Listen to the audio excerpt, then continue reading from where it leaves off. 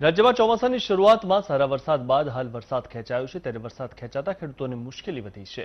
મોરવા, હડપ અને ઘોઘંબા જેવા વિસ્તારમાં વરસાદી પાણીના અભાવના કારણે ખેડૂતોનો ઊભો પાક નિષ્ફળ જવાની આરે આવીને ઊભો છે. બીજી તરફ હાલ સરકાર દ્વારા પણ કોઈ પણ પ્રકારની સહાય ન મળતી હોવાનો દાવો ખેડૂતો કહી રહ્યા છે. ત્યારે જો હજી પણ વરસાદ ના આવે તો ખેડૂતો પાયમાલ થાય અને ખેડૂતોનું દેવું વધે તેવી શક્યતાઓ સેવાઈ રહી છે. આથી સરકાર બાકીનો પાક વીમો માફ કરે અને ખાસ સહાય પેકેજ આપે તેવી ખેડૂતો માંગણી કરી રહ્યા છે.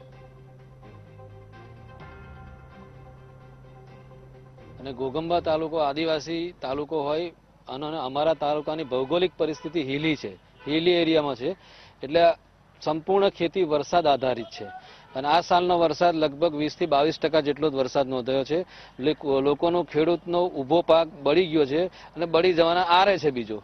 એટલે જો અઠવાડિયા દસ દિવસ, બે ચાર દિવસમાં વરસાદ ના આવે, તો આ સંપૂર્ણ પાક નુકસાન થશે અને એનું વળતર કેવી રીતે સરકાર આપશે કે બેંકો આપશે એ હજુ નક્કી નથી. ખેડૂતોના માથે દેવું થવાનું છે અને ખેડૂત પાયમાલ થવાનો છે. છે કે કઠોળનું જે વાવેતર જે મુખ્ય જે પાક ગણાય, ચોમાસો પાક, એ કઠોળનો પાક બિલકુલ નિષ્ફળ ગયો છે.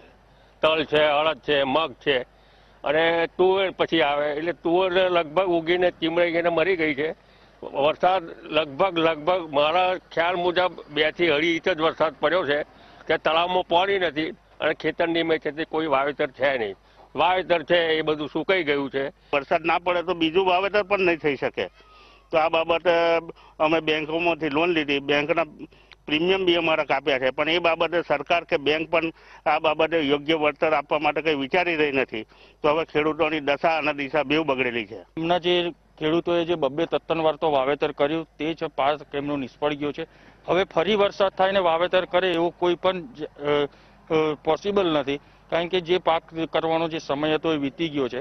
હવે ક્રોપ લોન અમે લઈએ છીએ એની મેં પાક ધિરાણની લોનમાં ગયા વર્ષે અમારે વીમો કાપ્યો, શેમ્પુ ઇન્સ્યોરન્સ લિમિટેડ કંપનીએ એ. બી અમે એમને ફોન કર્યો ફોન બી નહોતો લાગતો.